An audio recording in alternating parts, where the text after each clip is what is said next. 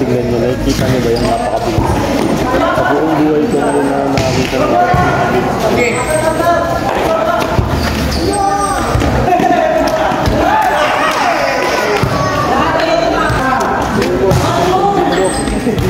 Para hindi ka tamaan ng bola.